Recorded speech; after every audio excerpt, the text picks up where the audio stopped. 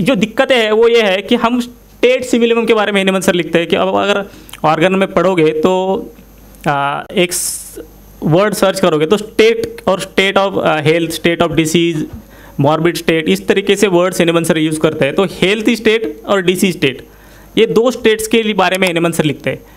और वो 107 जगह पे है। हेमंत सर कहीं नहीं लिखते कि कॉन्स्टिट्यूशन होना चाहिए फ़िज़िकल मेकअप होना चाहिए, या माइंड पिक्चर होना चाहिए, ठीक है?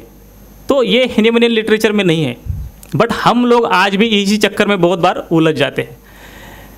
अपने अपनी जो भी कुछ सिस्टम्स डेवलप हुई है, उसके कुछ स्कोप हो सकते हैं लिमिटेशंस भी हो सकते हैं बट वो कंप्लीट नहीं है हेनेमनियन पॉइंट ऑफ़ व्यू ये आप तो आपको अंडरस्टैंड होना चाहिए, मुझे लगता है। क्योंकि हेनेमंत सर, अगर आप स्टेट वर्ड डालोगे और उतना पैराग्राफ पढ़ोगे तो आपको समझ में आएगा कि हेनेमंत सर क्या बोल रहे हैं एक्चुअली क्या ट्रीट करना है और क्या कंसिडर करना है हमें।